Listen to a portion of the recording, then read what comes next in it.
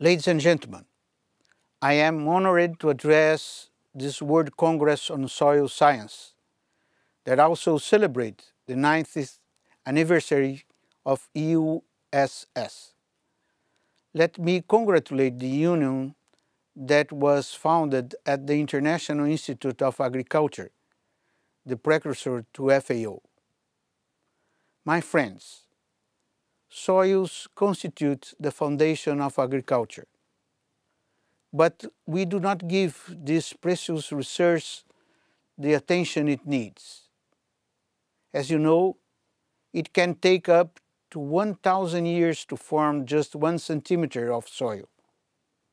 And yet, it can be lost in just a few minutes due to degradation and erosion. Consider that most of our food production is soil-based. The loss of fertile, fertile soils is a threat to agriculture production, food security and sustainable development. This is an issue that we must address together. In these efforts, the Global Soil Partnership established by FAO member states stands out as a point of convergence in the fight for healthy soils. Our efforts have recently received two important boosts.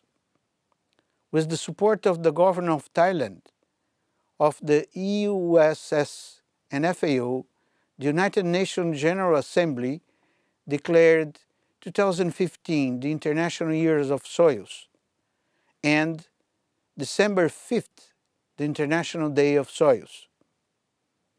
Let's use this platform to adv advocate the importance of preserving our soils.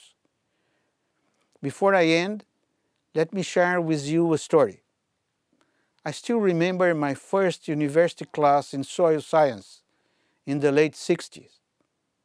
The professor mixed clay, sand and water in a pan and threw it in the ground. He then asked us if that mess on the floor was uh, soil. The answer is no. Soil is a living structure. It breathes, it lives. And it can take thousands of years to create the conditions need to reproduce it. That's why we need to treat it with care as the living body it is. Let me conclude by expressing my gratitude for receiving the IUSS Award certificate. It is a great inspiration for the FAO family to continue its fight for sustainable management of soils and towards a food security world.